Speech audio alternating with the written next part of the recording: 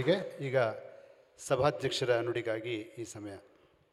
ವೇದಿಕೆಯಲ್ಲಿ ಉಪಸ್ಥಿತರಿರುವ ಇಂದಿನ ಮುಖ್ಯ ಅತಿಥಿಗಳಾದ ಡಾಕ್ಟರ್ ಶ್ರೀಪಾದ್ ಶೆಟ್ಟಿ ಅವರೇ, ಸನ್ಮಾನಿತರಾದ ಶ್ರೀ ಕೃಷ್ಣಯಾಜಿ ದಂಪತಿಗಳೇ, ಇಂದಿನ ಕಾರ್ಯಕ್ರಮದ ರೂವಾರಿಗಳಾದ ಶ್ರೀ ರಾಮ ಹೆಗಡೆಯವರೇ ಶ್ರೀ ಶಿವಾನಂದ ಹೆಗಡೆಯವರೇ ಇಲ್ಲಿ ಸೇರಿರುವ ಕಲಾ ಹೃದಯವನ್ನು ಹೊಂದಿರುವಂತಹ ಸಹೃದಯ ಸಭಾಸದರೇ ಮೊಟ್ಟ ಮೊದಲನೆಯದಾಗಿ ಮಹಾ ಯಕ್ಷಗಾನದ ಮಹಾಬಲನಾದ ಮಹಾಬಲ ಹೆಗಡೆಯವರ ದಿವ್ಯ ಚೇತನಕ್ಕೆ ನನ್ನ ವಂದನೆಗಳನ್ನು ಅರ್ಪಿಸುತ್ತಾ ಎರಡು ಮಾತಾಡಲಿಕ್ಕೆ ಅಪೇಕ್ಷೆ ಪಡ್ತೇನೆ. ನನಗೆ ಶ್ರೀ ಮಹಾಬಲ ಹೆಗಡೆಯವರನ್ನ ನೋಡಬೇಕು ಎನ್ನುವಂತಹ ಆಸೆ ಇದ್ದಿದ್ದೇನೋ ಹೌದು, ಆದರೆ ಅದು ಸಾಧ್ಯ ಆಗಲಿಲ್ಲ. ಬಹುಶಃ ಅವರನ್ನು ಕಾಣಲಿಕ್ಕೆ ಹೆದರಿಕೆಯಾಗಿಯೋ ಅಥವಾ ಸಾಕಷ್ಟು ಸಂಪರ್ಕ ಇಲ್ಲದೇ ಇರುವುದರಿಂದಾಗಿಯೋ ನನಗದು ಸಾಧ್ಯವಾಗಲಿಲ್ಲ. ಆದರೆ ಇವತ್ತು ಅವರನ್ನು ನೆನಪಿಸಿಕೊಳ್ಳುವಂತಹ ಈ ಸಂದರ್ಭದಲ್ಲಿ ಇಲ್ಲಿ ಉಪಸ್ಥಿತನಿರುವಂತೆ ಆಗಿದ್ದು ನನ್ನ ಭಾಗ್ಯ ಅಂತ ಅಂದುಕೊಳ್ತೇನೆ. ಇಂತಹ ಒಂದು ಸಭೆಯ ಅಧ್ಯಕ್ಷತೆಯನ್ನು ವಹಿಸುವಂತಹ ಒಂದು ಯೋಗ್ಯತಾವಂತ ನಾನಲ್ಲ. ಆದರೆ ಶ್ರೀ ರಾಮ ಹೆಗಡೆಯವರ ಪ್ರೀತಿ ಮತ್ತು ಅಭಿಮಾನದಿಂದ ಮತ್ತು ನಾಲ್ಕು ಯಕ್ಷಗಾನ ಪ್ರಸಂಗಗಳನ್ನು ರಚಿಸಿರುವುದರ ದೆಸೆಯಿಂದ ಯಕ್ಷಗಾನದಲ್ಲಿ ಪ್ರಸಂಗಕರ್ತರನ್ನು ಯಾವಾಗಲೂ ಅವರಿಗೆ ಸಲ್ಲಬೇಕಾದ ಸ್ಥಾನವನ್ನು ಕೊಡದೆ ನಿಕೃಷ್ಟದಿಂದ ನೋಡ್ತಾರೆ ಎನ್ನುವಂತಹ ಒಂದು ಭಾವನೆ ಇರುವಾಗ ಬಹುಶಃ ಪ್ರಸಂಗಕರ್ತರನ್ನೂ ಗುರುತಿಸಬೇಕು ಎನ್ನುವಂತಹ ಒಂದು ಮನೋಭಾವ ಇದ್ದರೂ ಇರಬಹುದು. ಈ ಎಲ್ಲ ಕಾರಣಗಳಿಂದ ನನ್ನನ್ನು ಇಲ್ಲಿ ಬಂದು ಉಪಸ್ಥಿತನಿರುವುದಕ್ಕೆ ಅವಕಾಶ ಮಾಡಿಕೊಟ್ಟಂತಹ ಶ್ರೀ ರಾಮ ಹೆಗಡೆಯವರಿಗೆ ನನ್ನ ಕೃತಜ್ಞತಾಪೂರ್ವಕವಾದ ವಂದನೆಗಳನ್ನು ಮೊದಲಿಗೆ ಅರ್ಪಿಸ್ತೇನೆ. ಯಕ್ಷಗಾನದ ಪ್ರಸಕ್ತ ಸ್ಥಿತಿಯನ್ನು ನೋಡಿದರೆ ಹಿಂದೆಂದಿಗಿಂತಲೂ ಹೆಚ್ಚಿನ ರೀತಿಯ ಪ್ರೋತ್ಸಾಹ ಇವತ್ತು ಯಕ್ಷಗಾನಕ್ಕೆ ದೊರೀತಾ ಇದೆ ಅಂತ ಮೇಲ್ನೋಟಕ್ಕೆ ಕಂಡು ಬರ್ತಾ ಇದೆ. ವಿಪುಲವಾಗಿ ಯಕ್ಷಗಾನದ ಆಟ ಆಟ ಮುಖ್ಯವಾಗಿ ಆಟದ ಕಾರ್ಯಕ್ರಮಗಳು ನಡೀತಾ ಇದೆ. ಕಲಾವಿದರಿಗೆ ಬೇಸರ ಬಾರದೇ ಇರುವ ಪ್ರಮಾಣದಲ್ಲಿ ಕಾರ್ಯಕ್ರಮಗಳು ದೊರೀತಾ ಇದೆ. ಕಲಾವಿದರ ಸಂಖ್ಯೆಯು ಅನೇಕ ಪ್ರಮಾಣದಲ್ಲಿ ಅಧಿಕವಾಗಿದೆ.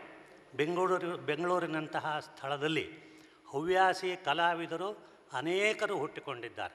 ರಾಜ್ಯಾದ್ಯಂತ ಮೊದಲನೇ ಹಾಗಲ್ಲದೆ ಮಹಿಳಾ ಯಕ್ಷಗಾನ ಮಂಡಳಿಗಳು, ಮಕ್ಕಳ ಯಕ್ಷಗಾನ ಮೇಳಗಳು ರಾಜ್ಯಾದ್ಯಂತ ಕಾರ್ಯಕ್ರಮಗಳನ್ನು ಕೊಡ್ತಾ ಇದ್ದಾರೆ.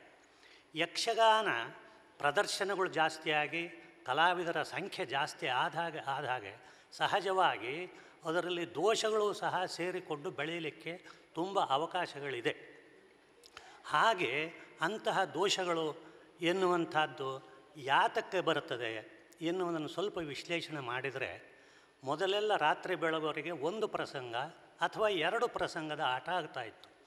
ಒಂದು ಕರುಣ ಅಂತ ಹಿಡ್ಕೊಂಡ್ರೆ ಮೊದಲಿನಿಂದ ಆ ಕರುಣನ ಪ್ರತಿಯೊಂದು ಘಟ್ಟವನ್ನು ತೋರಿಸಿ ಕರುಣ ತನ್ನ ಅದನ್ನು ಪೂರ್ವ ಅಭ್ಯಾಸ ಮಾಡಿ ಆ ಕರುಣನನ್ನು ಒಂದು ಕಡೆದು ನಿಲ್ಲಿಸ್ತಾ ಇದ್ದರು ಕಲಾವಿದರು. ಬೆಳಗಿನ ಜಾವ ಅಥವಾ ಆ ಪ್ರಸಂಗದ ಅಂತ್ಯ ಬರುವ ಹೊತ್ತಿಗೆ ಪ್ರೇಕ್ಷಕನು ಕಲಾವಿದನೊಂದಿಗೆ ತಾದಾತ್ಮ್ಯವನ್ನು ಸಾಧಿಸ್ಕೊಳ್ತಾ ಇದ್ದ. ಹೇಗೆ ಎರಡು ವೀಣೆಗಳನ್ನು ಶ್ರುತಿ ಮಾಡಿ ಇಟ್ಟರೆ ಒಂದು ಶ್ರೀ ವೀಣೆಯನ್ನು ನುಡಿಸಿದರೆ ಇನ್ನೊಂದು ವೀಣೆ ನುಡಿತದಂತೆ ನಾನು ಕೇಳಿದ್ದು. ಹಾಗೆ ಈ ಕಲಾವಿದ ಇಷ್ಟು ಪರಿಪೂರ್ಣವಾಗಿ ಶ್ರುತಿಗೊಳಿಸಿದಂತಹ ಕಲಾವಿದನೊಂದಿಗೆ ಪ್ರೇಕ್ಷಕರೂ ಸಹ ಶ್ರುತಿಗೊಳ್ತಾ ಇದ್ದರು ಹಾಗಾಗಿ ಒಂದು ಕಲಾವಿದ ಅಂತ್ಯದಲ್ಲಿ ಒಂದು ಮಾತು ಹೇಳಿದರೆ, ಕರ್ಣ, ನಾನು ರಥವನ್ನು ಎತ್ತಿಸಿ ಏರಿಸಿಕೊಳ್ಳುವವರೆಗೆ ಎತ್ತುವವರೆಗೆ ತಡೆ ಅಂತ ಅರ್ಜುನನಿಗೆ ಹೇಳಿದರೆ ಪ್ರತಿಯೊಬ್ಬರ ಹೃದಯ ಮಿಡಿತಾ ಇತ್ತು. ಅರ್ಜುನ, ಇವನು ಕರ್ಣ, ಯಾರು ಇವನು? ನಿಜ ಹೇಳು. ಕುಂತಿಯ ಹೊಟ್ಟೆಯಲ್ಲಿ ಹುಟ್ಟಿದವನಾಗಿ ಕಾಣ್ತಾ ಇದ್ದಾನೆ.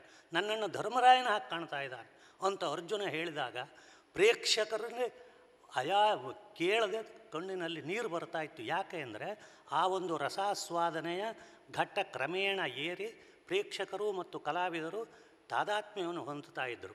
ಆದರೆ ಇವತ್ತು ಕಾಲದ ಗತಿಯಲ್ಲಿ ಬದಲಾವಣೆಯನ್ನು ಯಾರೂ ತಡೆಯಲಿಕ್ಕೆ ಸಾಧ್ಯ ಇಲ್ಲ. ಆ ಕಾಲದ ಬದಲಾವಣೆಯಿಂದಾಗಿ ಈ ಆಟದ ಕ್ರಮವೂ ಬದಲಾಗಿ ಕಾಲಮಿತಿಯಲ್ಲಿ ಮಾಡುವಂತಹ ಕ್ರಮ ಬಂದಿದೆ. ಅದು ಅನಿವಾರ್ಯ ಅದು. ಹಾಗೆ ಮಾಡುವಾಗ ಈಗ ರಾತ್ರಿ ಬೆಳಗೊರಿಗೆ ಆಟ ಆದರೂ ಸಹ ಮೂರು ಪ್ರಸಂಗ, ನಾಲ್ಕು ಪ್ರಸಂಗಗಳನ್ನೆಲ್ಲ ಇಟ್ಟು ಕೆಲವೇ ಪದಗಳನ್ನು ಅಲ್ಲಿ ಹೇಳಿ ಆ ಯಾವುದೇ ಒಂದು ಕಲಾವಿದನ ಆ ವ್ಯಕ್ತಿತ್ವವನ್ನು ಪರಿಪೂರ್ಣವಾಗಿ ಬೆಳೆಸುವಂಥ ಅವಕಾಶವಾಗಲಿ, ಅಗತ್ಯವಾಗಲಿ ಅದರಲ್ಲಿ ಇಲ್ಲ. ಹಾಗಾಗಿ ಈಗ ಕೃಷ್ಣಾರ್ಜುನರ ಕಾಳಗ ಆದರೆ ಯಾತಕ್ಕೆ ಕೃಷ್ಣ ಮತ್ತು ಅರ್ಜುನರ ಮಧ್ಯೆ ಕಾಳಗ ಆಯಿತು ಅಂತಲೇ ಗೊತ್ತಾಗದಿದ್ದಂಥ ಪರಿಸ್ಥಿತಿ ಇದೆ ಇವತ್ತು. ಹಾಗಿದ್ದರೆ ಇದಾಗಿ ಕಲಾವಿದರಿಗೆ ಏನಾಗ್ತಾ ಇದೆ ಅಂದರೆ ಮೊದಲನೇ ಹಾಗೆ ಅಷ್ಟು ಆಳವಾಗಿ ಪಾತ್ರಗಳನ್ನು ಅಭ್ಯಾಸ ಮಾಡಿ ಆ ಪಾತ್ರವನ್ನು ಕಡೆದು ನಿಲ್ಲಿಸಬೇಕಾದಂಥ ಅಗತ್ಯ ಇವತ್ತಿಲ್ಲ. ಪ್ರೇಕ್ಷಕರ ಮನಸ್ಸನ್ನು ಸೂರೆಗೊಳ್ಳಲಿಕ್ಕೆ ಬೇರೆ ಬೇರೆ ಅನೇಕ ವಿಧವಾದ ಮಾರ್ಗಗಳನ್ನು ಕಂಡುಕೊಳ್ತಾ ಇದ್ದಾರೆ, ಅದನ್ನು ಪ್ರಯೋಗಿಸ್ತಾ ಇದ್ದಾರೆ. ಹಾಗೆ ಹಾಗೆ ಬಂದಿದ್ದರಲ್ಲಿ ಈಗಾಗಲೇ ಶಿವಾನಂದ ಹೆಗಡೆ ಅವರು ಹೇಳಿದಾಗ ಮಹಾಬಲ ಹೆಗಡೆಯವರ ಪ್ರಸಿದ್ಧವಾದ ಉಕ್ತಿಯಂತೆ ಭಾಗವತರಾದವರು ಅತಿಯಾದ ಆಲಾಪನೆ, ಪುನರುಕ್ತಿಗಳು, ಕಲಾವಿದನಾದವನು ಅತಿಯಾದ ಕುಣಿತ, ಪುನರುಕ್ತಿಗಳು, ಶಬ್ದಾಭಿನಯ ಪದ್ಯದ ಅಭಿನಯದ ಬದಲಿಗೆ ಒಂದೊಂದು ಶಬ್ದಗಳಿಗೆ ವಿಭಿನ್ನವಾದಂಥ ಅಭಿನಯಗಳನ್ನು ಮಾಡುವುದು ಮುಂತಾದ ಇದೆಲ್ಲವೂ ಯಕ್ಷಗಾನ ರಂಗಭೂಮಿಗೆ ಇವತ್ತು ಬಂದಿದೆ. ಹಾಗಿದ್ದರೆ ಇದನ್ನು ಸರಿಯಾಗಿ ಒಂದು ಮೊದಲಿನ ಕ್ರಮದಲ್ಲಿ ಯಕ್ಷಗಾನವನ್ನು ನೋಡಿದವರಿಗೆ ಇದರಲ್ಲಿ ನೋವಾಗ್ತದೆ. ಮೊದಲು ಈ ಸಮಗ್ರವಾಗಿ ಯಕ್ಷಗಾನ ಜನಗಳ ಮೇಲೆ ಪರಿಣಾಮ ಮಾಡುವಂಥ ಕಾಲದಲ್ಲಿ ಒಬ್ಬ ಅನಕ್ಷರಸ್ಥ ಹೆಂಗಸೂ ಸಹ ಹಳ್ಳಿಯಲ್ಲಿ ಆಟದ ಒಟ್ಟಂದವನ್ನು ಹೇಳುವಂಥ ಸಾಮರ್ಥ್ಯ ಅವಳಿಗಿತ್ತು. ನಮ್ಮಲ್ಲಿ ಒಬ್ಬಳು ಸಂಖ್ಯೆ ಮುದುಕಿ ಅಂತಲಿದ್ದು, ನಿರಕ್ಷರ ಕುಕ್ಷಿ. ಒಂದು ಕವಳ ಸಂಚಿ ಹಿಡ್ಕೊಂಡು ಬಂದು ಕೂತ್ರೆ ಆಟಕ್ಕೆ ಬೆಳಿಗ್ಗೆ ಎದ್ದು ಹೋಗ, ಹಾಂ, ಎಂಥ ಆಟ ಮಾಡಿದ್ರೆ ಏನು ರೈಸಲ್ಲ? ಯಾಕೆ ರೈಸಲ್ಲ? ಅವಳಿಗೆ ನೀವು ಕೇಳಿದರೆ ಅದನ್ನು ವಿಶ್ಲೇಷಣೆ ಮಾಡುವ ಸಾಮರ್ಥ್ಯ ಇಲ್ಲ. ಆದರೆ ಒಟ್ಟಿನಲ್ಲಿ ಆಟ ಹೇಗೆ ಆಗಬೇಕಾಗಿತ್ತು ಹಾಗಾಗಲಿಲ್ಲ ಅಂಥ ಒಂದು ವಿಮರ್ಶೆಯನ್ನು ಮಾಡಲಿಕ್ಕೆ ಅವಕಾಶ ಇತ್ತು. ಇವತ್ತು ಅದು ಹೋಯಿತು. ಈಗ ಕರುಣನನ್ನು ನೋಡಿ ಬೆಳಗಿನ ಜಾವ ಕಣ್ಣೀರು ಹಾಕುವಂಥದ್ದು ಕೇವಲ ಕಥೆಗೆ ಬಂತೀಗ. ಆದರೆ ಇವತ್ತಿನ ವಾತಾವರಣದಲ್ಲಿ ಇರುವುದನ್ನೇ ಅದೇ ಸತ್ವಪೂರಿತವಾದಂತಹ ಯಕ್ಷಗಾನದ ಮೌಲ್ಯಗಳನ್ನು ಬಿಡದೆ ಆ ಚೌಕಟ್ಟಿನಲ್ಲಿಯೇ ಇದ್ದು ಜನಗಳ ಮೆಚ್ಚುಗೆಯನ್ನು ಗಳಿಸ್ಲಿಕ್ಕೆ ಸಾಧ್ಯ ಇದೆ ಕಲಾವಿದರಿಗೆ. ಇವತ್ತು ಅದನ್ನು ಬಿಟ್ಟು ಸ್ವಂತ ಏನೇನೋ ಬದಲಾವಣೆಗಳು ಅಂತ ಹೇಳಿ ಮಾಡಿ ಜನಗಳ ಆಕರ್ಷಣೆಯನ್ನು ಮಾಡುವ ಅಗತ್ಯ ನಿಜವಾಗಿ ಇಲ್ಲ. ಆದರೆ ಅದನ್ನು ಅರಿತುಕೊಳ್ತಾ ಇಲ್ಲ.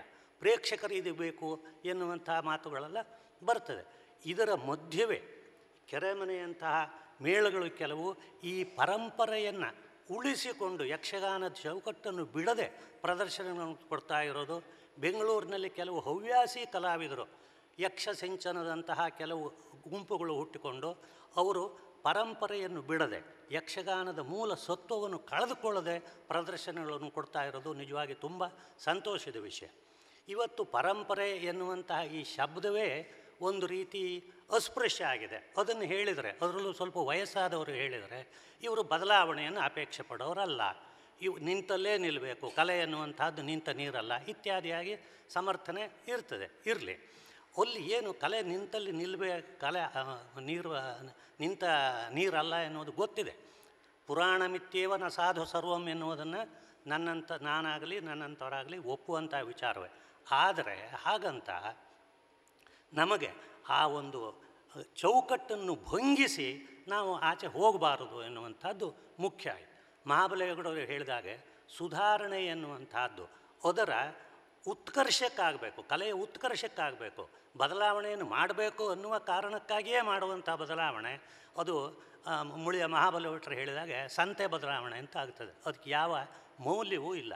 ಅದನ್ನು ಬಿಟ್ಟು ಹಾಗಿದ್ದರೆ ಯಾತಕ್ಕಾಗಿ ನಮಗೆ ಯಾವುದೋ ಒಂದು ಹಿಂದಿನಿಂದ ನಡೆದುಕೊಂಡು ಬಂದಂಥ ಒಂದು ಕ್ರಮವನ್ನು ಭಂಗಿಸಿ ಮಾಡಿದಾಗ ಯಾಕೆ ಮನಸ್ಸಿಗೆ ನೋವಾಗ್ತದೆ? ಯಕ್ಷಗಾನದ ಆಟದ ಅದರಲ್ಲೂ ವಿವಿಧ ಅಂಗಗಳಾದ ಭಾಗವತಿಕೆಯಲ್ಲಾಗಲಿ, ವೇಷಗಾರಿಕೆಯಲ್ಲಾಗಲಿ, ಅರ್ಥಗಾರಿಕೆಯಲ್ಲಾಗಲಿ ಬದಲಾವಣೆ ಆದರೆ ಗೊತ್ತಾಗ್ತದೆ ನಮಗೆ.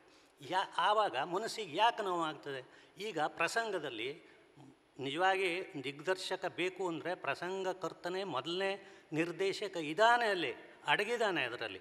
ಅವನು ಪದಗಳಲ್ಲಿ ಪ್ರತಿಯೊಬ್ಬ ಕಲಾವಿದನಿಗೂ ಮಾರ್ಗದರ್ಶನವನ್ನು ಕೊಡ್ತಾನೆ. ಅವನು ಪ್ರಸಂಗದಲ್ಲಿ ಅವನು ಏನು ಹೇಳಿದ್ನೋ ಆ ರೀತಿಯಲ್ಲೇ ಕಥೆ ನಡೀತದೆ.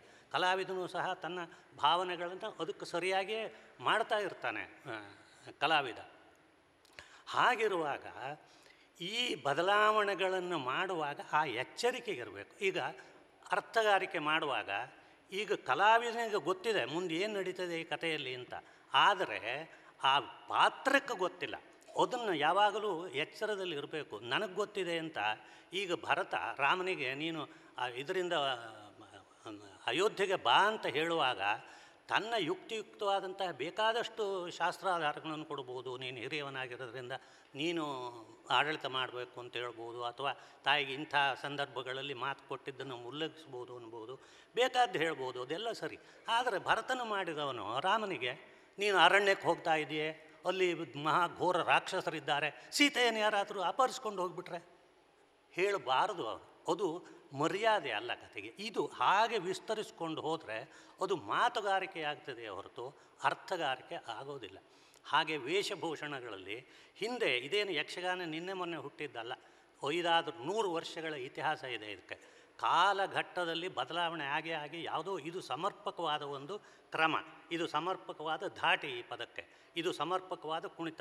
ಇದು ಸಮರ್ಪಕವಾದ ಬಿಡ್ತಿಗೆ. ಇದು ಸಮರ್ಪಕವಾದ ಪ್ರತಿಯೊಂದನ್ನು ಒಂದೇನೋ ನಿಷ್ಕರ್ಷ ಮಾಡಿದ್ದಾರೆ. ಒಬ್ಬರು ಒಂದು ಸಾರಿ ಹೇಳಿದರು, ನಮ್ಮ ಪಗಡೆ ಯಕ್ಷಗಾನದ ಪಗಡೆಯನ್ನು ಬಹುಶಃ ಕೆಸವಿನೆಲೆ ಅದನ್ನು ನೋಡಿ ಯಾರೋ ಮಾಡಿರಬಹುದು ಅಂತ ಇರಬಹುದು. ಅಂಥದ್ದು ಇಲ್ಲಿಯೇ ಹುಟ್ಟಿ ಬೆಳೆದಂಥ ಕಲೆ ಆಗಿರೋದ್ರಿಂದ ಹಾಗೆ ಅನೇಕ ವಿಧಗಳಲ್ಲಿ ಒಂದೊಂದು ಒಂದೊಂದು ಪರಿಷ್ಕಾರಗೊಂಡು ಕಾಲದ ಪರೀಕ್ಷೆಯಲ್ಲಿ ಉತ್ತೀರ್ಣವಾಗಿ ನಿಂತಿದೆ ಯಕ್ಷಗಾನದ ಪ್ರತಿಯೊಂದು ಅಂಗವು. ಆದ್ದರಿಂದಲೇ ಇದು ಸರ್ವೋತ್ಕೃಷ್ಟ ಕಲೆ ಆಗಿದೆ. ಅದರಿಂದಾಗಿಯೇ ಇದರಲ್ಲಿರುವ ನಾಲ್ಕೈದು ಅಂಗಗಳಲ್ಲಿ ಯಾವುದಾದ್ರೂ ಒಂದರಲ್ಲಿ ಪ್ರಾವೀಣ್ಯ ಪಡೆದವನು ಶ್ರೇಷ್ಠನ ಕಲಾವಿದ ಅಂತ ಅನಿಸ್ಕೊಳ್ಳೋದಕ್ಕೆ ಅವಕಾಶ ಇದೆ ಇದರಲ್ಲಿ. ಅದು ಸರಿಯಾದ ರೀತಿಯಲ್ಲಿ ಉಪಯೋಗ ಆಗಬೇಕು. ಹಾಗಿದ್ದರೆ ಇದರಲ್ಲಿ ನಮಗೆ ಯಾಕೆ ನೋವಾಗ್ತದೆ ಅಂತ ನಾನು ತುಂಬ ಆಲೋಚನೆ ಮಾಡಿ ವಿಮರ್ಶೆ ಮಾಡಿದ್ರೆ ನನಗನಿಸೋದು ಯಕ್ಷಗಾನ ಅನ್ನುವುದು ಒಂದು ಮಾಧ್ಯಮ ಎನ್ನುವಂಥ ಮಾತು ಬರ್ತಾ ಇದೆ. ಆದರೆ ನನಗನಿಸುವುದು ಅದು ಮಾಧ್ಯಮ ಅಂತ ಮಾಡಿದರೆ ನಾವು ಅದರ ಮೌಲ್ಯವನ್ನು ಅಪಮೌಲ್ಯಗೊಳಿಸಿದ ಹಾಗೆ, ಅದು ನಿಜವಾಗಿ ಹಾಗೆ ಮಾಧ್ಯಮ ಅಂತ. ನಾಟಕ, ಸಿನಿಮಾ, ಪತ್ರಿಕೆ, ರೇಡಿಯೋ, ಇವುಗಳ ಜೊತೆಗೆ ಯಕ್ಷಗಾನವನ್ನು ನಾವು ನಿಲ್ಲಿಸ್ಲಿಕ್ಕೆ ಆಗುವುದಿಲ್ಲ. ಇದು ಪ್ರತ್ಯೇಕ. ಹಾಗಿದ್ರೆ ಏನು ಪ್ರತ್ಯೇಕ ಅಂತ ಕೇಳಿದ್ರೆ ನನಗನ್ನಿಸೋದು ಇದು ಒಂದು ಸಿದ್ಧ ವಸ್ತು, ಸಿದ್ಧ ಶಿಲ್ಪ. ಆವಾಗಿಂದ ಮಾಡಿ ಮಾಡಿ ಒಂದು ಶಿಲ್ಪವನ್ನು ಕಡಿದು ನಮಗೆ ಕೊಟ್ಟಿದ್ದಾರೆ. ನಾವು ಅದನ್ನು ಮತ್ತೆ ಜನಗಳ ಮುಂದೆ ಇಡಬೇಕು ಅಂದರೆ ಆ ಮೂಲ ಶಿಲ್ಪ ಹೇಗಿದೆ, ಅದನ್ನೇ ಇಡಬೇಕು. ಅದನ್ನು ಸಣ್ಣ ಮಾಡ್ಬೋದು, ದೊಡ್ಡ ಮಾಡ್ಬೋದು, ಅದಕ್ಕೆ ಆಭರಣ ಮಾಡುವಾಗ ಪೀತಾಂಬರ ಉಡಿಸ್ಬೋದು, ಕೆಂಪು ಶಾಲ. ಆದರೆ ಈಗ ವಿಷ್ಣುವಿನ ಒಂದು ವಿಗ್ರಹವನ್ನು ಕಡಿದ್ರೆ ಚತುರ್ಭುಜ ಮಾಡಿ ಶಂಖ ಚಕ್ರ ಗದಾ ಪದ್ಮ ಅಂಕಿತನಾದಂತಹ ಹಾರ ಕೇಯೂರಾದಿಗಳಂತಹ ಇರುವಂತಹ ಮಹಾವಿಷ್ಣುವಿನ ವಿಗ್ರಹವನ್ನು ಹಾಗೇ ಕಡಿಬೇಕೇ ಹೊರತು ಬೇರೆ ಮಾಡಲಿಕ್ಕೆ ಮಾರ್ಗ ಇಲ್ಲ. ವಿಷ್ಣು ಈಗ ಆರುನೂರು ವರ್ಷದ ಹಿಂದೆ ವಿಷ್ಣುವನ್ನು ಹಾಕಿ ಕಡಿತಾ ಇದ್ದರು ಇವತ್ತು ನಾನು ಹ್ಯಾಟ್ ಇಡಬಹುದು ಅಂತ ಇಡ್ಲಿಕ್ಕೆ ಆಗೋದಿಲ್ಲ. ಇವತ್ತು ಕಿರೀಟನೇ ಇಡಬೇಕು. ಹಾಗಿರಬಹುದು ಯಕ್ಷಗಾನ ಅಂತ ನನಗನ್ನಿಸ್ತದೆ. ಇದು ಒಂದು ಸಿದ್ಧ ವಸ್ತು. ಇದನ್ನು ನಾವು ಏನೇ ಮಾಡಿದರೂ ಆ ರೂಪವನ್ನು ಭಂಗಿಸಿ ಬೇರೆ ಒಂದು ರೀತಿಯಲ್ಲಿ ಕೊಡ್ಲಿಕ್ಕೆ ಹೋದರೆ ಅದು ಯಕ್ಷಗಾನ ಅಲ್ಲ. ಅದಕ್ಕೆ ಬೇರೆ ಹೆಸರಿನಲ್ಲಿ ಈಗ ಈಗ ದೊಡ್ಡ ಆಟ ಅಂತ ಯಕ್ಷಗಾನದಲ್ಲಿ ಬೇರೆ ಒಂದು ಪ್ರಕಾರ ಇಲ್ವ? ಅಂಥದ್ದು ಬೇಕಾದಷ್ಟಿದೆ. ಇದು ಯಕ್ಷಗಾನದಿಂದ ಪ್ರೇರಿತವಾಗಿ ಹುಟ್ಟಿಕೊಂಡಂಥ ಒಂದು ಪ್ರಕಾರ ಅಂತ ನಾವು ಹೇಳ್ಬೋದು. ಬೇರೆ ಹೇಗಾದರೂ ಮಾಡಿಕೊಳ್ಳಿ, ಚಿಂತೆ ಇಲ್ಲ. ಅದಕ್ಕೆ ನಾವು ಈ ಮೂಲ ಯಕ್ಷಗಾನ ಅಂತ ಏನು ನಾವು ಇಟ್ಕೊಂಡಿದ್ದೇವೆ ಒಂದು ಮಂದಾಸನದಲ್ಲಿ, ಅದಕ್ಕೆ ಭಂಗ ಆಗೋದಿಲ್ಲ ಇದು. ಹಾಗೆ ನನ್ನ ವಿಚಾರ. ಆದ್ದರಿಂದ ಯಕ್ಷಗಾನ ಎನ್ನುವಂಥದ್ದು ಒಂದು ಸಿದ್ಧ ವಸ್ತು. ಇದರಲ್ಲಿ ಬದಲಾವಣೆ ಮಾಡುವಂಥದ್ದಿದ್ದರೂ ಅದು ಅತ್ಯಗತ್ಯವೇ ಅಂತ ಕಲಾವಿದ ತನ್ನಷ್ಟಕ್ಕೆ ಕೇಳಿಕೊಳ್ಬೇಕು. ಅತ್ಯಗತ್ಯ ಅಂದರೆ ಮಾತ್ರ ಆ ಬದಲಾವಣೆಯನ್ನು ಮಾಡಲಿಕ್ಕೆ ಹೋಗಬೇಕು ಹೊರತು ಇಲ್ಲದೇ ಇದ್ದರೆ ಯಥಾಸ್ಥಿತಿಯನ್ನು ಇಟ್ಟುಕೊಳ್ಳುವುದರಲ್ಲಿ ಯಾವ ದೋಷವೂ ಇಲ್ಲ. ಆರುನೂರು ವರ್ಷಗಳ ಕಾಲ ಜನಗಳ ಮನಸ್ಸನ್ನು ಅರಳಿಸಿ, ಬುದ್ಧಿಯನ್ನು ವಿಕಾಸಗೊಳಿಸಿ, ಹೃದಯವನ್ನು ತಣಿಸಿದಂತಹ ಈ ಕಲೆ ಯಾವತ್ತಿಗೂ ಅದನ್ನು ಮಾಡಬಲ್ಲದು, ಈಗಿರುವಂಥ ವಸ್ತುವನ್ನೇ ಬಳಸಿಕೊಂಡು ಮಾಡಬಲ್ಲದು ಅನ್ನೋದು ನನ್ನ ಒಂದು ಅಭಿಪ್ರಾಯ. ಸಹೃದಯರಾದಂಥ ಜನಗಳು ಇದನ್ನು ಬಗ್ಗೆ ವಿಚಾರ ಮಾಡಬೇಕು. ಹಾಗೆ ಒಮ್ಮೆ ಒಮ್ಮೆ ಶಿವಾನಂದ ಹೆಗಡೆಯವರು ಹೇಳಿದರು, ಈ ಆಟದಲ್ಲಿ ದೋಷಗಳು ಕಂಡು ಬಂದರೆ ಒಂದು ಕಾರ್ಡ್ ಹಾಕಿ, ನಿಮ್ಮ ಹೆಸರು ವಿಳಾಸ ಹಾಕ್ತಿದ್ರು ಅಡ್ಡಿ ಇಲ್ಲ. ಒಂದು ಏನು ಅಂತ ನಮಗೆ ತಿಳಿಸಿ, ಗೊತ್ತಾಗ್ತದೆ ಅಂತ. ಹಾಗೆ ಯಾವುದೇ ಒಂದು ದೋ ಮಹಾಬಲೇಗಡೆಯವರು ಒಂದು ಕಡೆ ಹೇಳ್ತಾರೆ ಅದನ್ನೇ. ಹಿಂದೆ ಸಿದ್ದಾಪುರದಲ್ಲಿ ಅಳಗೋಡಜ್ಜ ಅಂತ ಇದ್ದ, ತಿಮ್ಮಯ್ಯ ಅಂತ. ಅವರು ಒಂದು ಸಾರಿ ಇವರು ಮಹಾಬಲ ಹೆಗಡೆಯವರಿಗೆ ಒಂದು ಇದನ್ನು ಮಾಡಿದಾಗ ಹಸ್ತಾಭಿನಯ ಮಾಡಿದಾಗ ಇದು ಹಿಂಗಲ್ಲ, ಹಿಂಗೆ ಅಂತ ಹೇಳಿದ್ರಂತೆ. ಇಂಥ ಅಳಗೋಡಜ್ಜನಂಥವರು ಇವತ್ತು ಇಲ್ಲ. ಇದ್ದರೂ ಸಹ ಅವರಿಗೆ ಬೆಲೆ ಇರಲಿಕ್ಕಿಲ್ಲ. ಹಾಗೆ ಅಂತ, ಈಗ ಆದ್ದರಿಂದ ಮುಂದೆ, ಇನ್ನೇನು ಮುಂದಿನ ಪೀಳಿಗೆಯವರು ಸಹ ಇದನ್ನು ವಿಮರ್ಶಾತ್ಮಕವಾಗಿ ಆಟಗಳನ್ನು ನೋಡಿ, ಅದರಲ್ಲಿರುವ ದೋಷಗಳನ್ನು ಹೇಳುವಂತಹದ್ದನ್ನು ಮಾಡಬೇಕು. ವಿದ್ವಾಂಸರಾದವರು ಸಹ ಸುಮ್ಮನಿರದೆ ದೋಷಗಳನ್ನು ತಿಳಿಸಿ ಅದು ತಪ್ಪಿ ಹೋಗದೇ ಇದ್ದ ಹಾಗೆ ನೋಡಿಕೊಳ್ಬೇಕು ಎನ್ನುವಂಥದ್ದು ನನ್ನ ಕಳಕಳಿಯ ವಿನಂತಿ. ಇವತ್ತಿನ ಕಾರ್ಯಕ್ರಮಕ್ಕೆ ನನ್ನನ್ನು ಇಲ್ಲಿಗೆ ಆಹ್ವಾನಿಸಿ ಇಂಥ ಒಂದು ಸದವಕಾಶವನ್ನು ಮಾಡಿಕೊಟ್ಟಿದ್ದಕ್ಕಾಗಿ ರಾಮೇಗೌಡವರಿಗೆ ಮತ್ತೊಮ್ಮೆ ನನ್ನ ವಂದನೆಗಳನ್ನು ಅರ್ಪಿಸ್ತೇನೆ. ಶ್ರೀ ಯಕ್ಷಗಾನದ ಮಹಾಬಲನಾದ ಮಹಾಬಲ ಹೆಗಡೆಯವರಿಗೆ ಇನ್ನೊಮ್ಮೆ ವಂದಿಸಿ ನನ್ನ ಮಾತನ್ನು ಮುಗಿಸ್ತೇನೆ. ಧನ್ಯವಾದಗಳು ಸಭಾಧ್ಯಕ್ಷರಿಗೆ.